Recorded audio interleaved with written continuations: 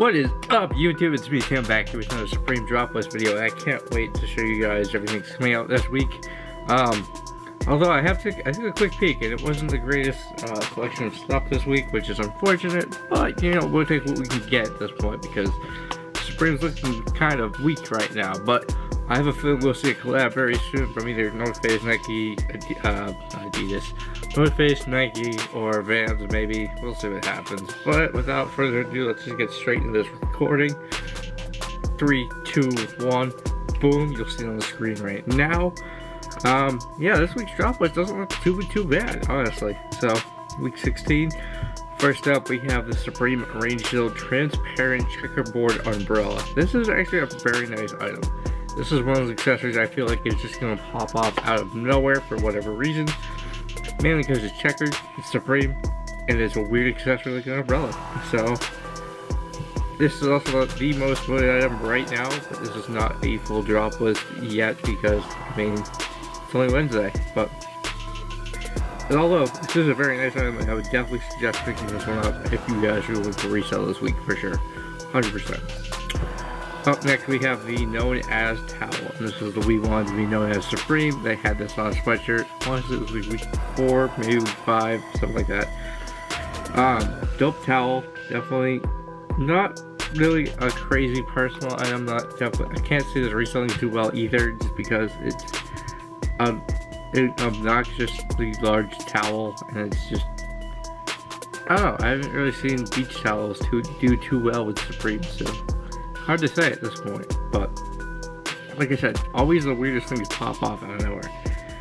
But up next we have the Naomi crewneck. This one's really dope. I wish this came out back when they did like the whole Gonz collab-ish collab.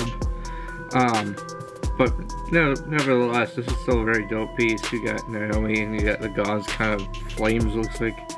You got blue, pink, and green, or blue, pink, orange, and green. I think the green one the best. That one's definitely my favorite. But, uh, I mean, it's not the middle of June. It's like 90 degrees outside. You don't need crew neck, but definitely still a pretty fire piece. I would definitely suggest picking that one up. If this is the full drop list. Up next, we have the warm up hood sweatshirt. Um, not a terrible design. Not too crazy of the piping and the like micro logo, but the colors they chose, not too bad. I definitely like the white or green purple, the black and white, obviously contrasting colors, and the green and blue aren't bad. Even the red one's not that bad. The yellow one's kind of meh.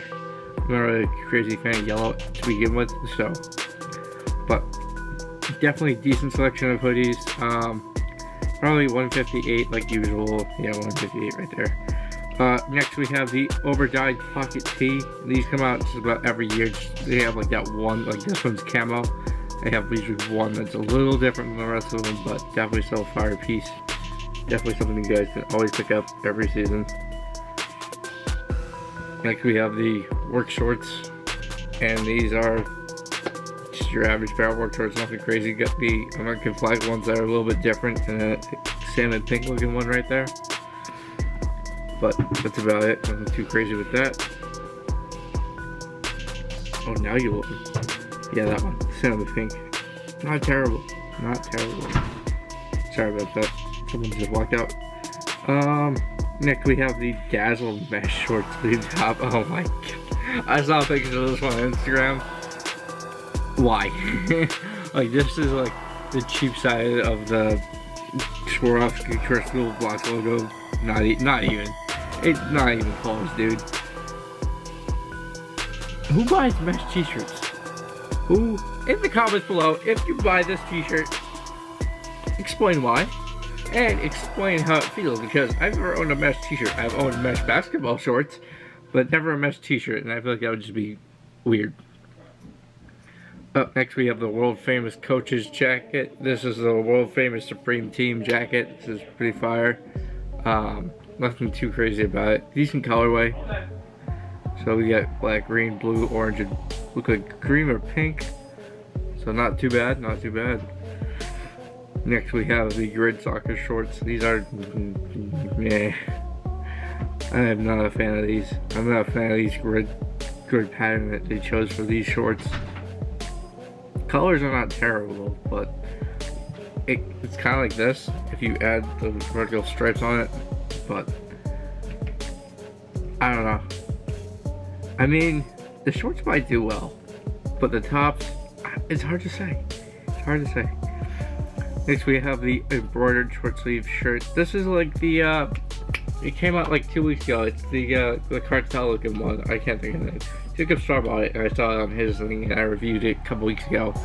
But overall, this actually isn't too bad. You got some weird pockets on the bottom of it, but um, yeah, it's definitely a pass for me. But like, if you're trying to get like a, a nice like kind of almost dapperish look, and you still want to rock Supreme, I mean, hey, go for it. You know what I'm saying? And last but not least, right now we have the Grid Soccer jersey. Um, I gotta say, I'm not a fan. I'm not a fan of these. They're not appealing to me. These are not standing out. Like, I have to buy that item this week. So, overall, this week is kind of trash. not gonna lie. This week kind of sucks with uh, Supreme. But, I mean, you get you take some wins, you take some L's, you, you get some good weeks, you get some shit. It's the name of the game. But, I mean, that black one isn't terrible. But, yeah, it's still definitely not. Uh, not something I want to spend $70 on, but yeah, with that being said, make sure you guys like, comment, subscribe, all that good stuff. Be sure to stay tuned because FTP is dropping on Saturday. You heard here. FTP is dropping on Saturday, so make sure you guys tune in for a live comp for that. Watch me some vicious L's again. And uh, yeah, we should have an unboxing very soon. I got one package right here from FTP. Uh, I'm waiting for two more coming, and I got one shipping confirmation. I'm still waiting for the other one to ship.